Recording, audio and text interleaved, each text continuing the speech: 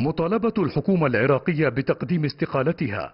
هذا ما خرجت به الجلسة الاستثنائية التي عقدها مجلس النواب لمناقشة الوضع في محافظة البصرة بحضور رئيس الحكومة حيدر العبادي ووزراء الدفاع والداخلية والصحة والموارد المائية والإعمار والإسكان وكذلك محافظ البصرة. وبعد سلسلة من التساؤلات وانتهاء الجلسة خرج تحالف سائرون الفائز الأول في الانتخابات ومن بعده تحالف الفتح في مؤتمرين منفردين وبمطلب واحد هو استقالة الحكومة الحالية.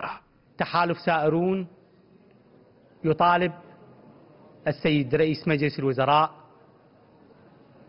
والكابينة الوزارية بتقديم استقالتهم والاعتذار إلى الشعب العراقي نطالب باستقالة رئيس الحكومة ووزرائها وتقديم استقالتهم فورا وأن يتبنى أن تتبنى الكتل السياسية الإسراع في عملية انتخاب الرئيس ونائبيه وتشكيل حكومة قوية عادلة قادرة تستطيع أن تقدم حلولا حقيقية للبصرة أولا ولجميع محافظات العراق ثانيا. يأتي هذا بعد أن شهدت الجلسة الاستثنائية تبادل الاتهامات بين الحكومتين المحلية والاتحادية بعدم صرف التخصيصات المالية لتنفيذ المشاريع والاكتفاء بإطلاق الوعود فيما اتهم نواب الحكومة بتقديم التبريرات دون الحلول الاستراتيجية. أعلن أن هناك مبالغ صرفت وأطلقت مبالغ لمحافظة البصرة. السيد المحافظ يقول لم تصلني أي مبالغ من اللي من المبالغ اللي أطلقها السيد رئيس الوزراء. وبالتالي هذا قضية خطيرة. اليوم إذا ماكو تنسيق بين الحكومة المحلية والحكومة المركزية. أعتقد اقرأ على العراق السلام.